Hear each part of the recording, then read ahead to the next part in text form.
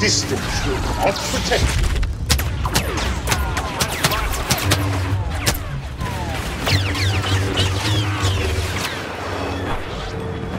Time to call it a game.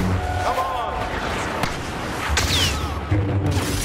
You can still save yourself from destruction.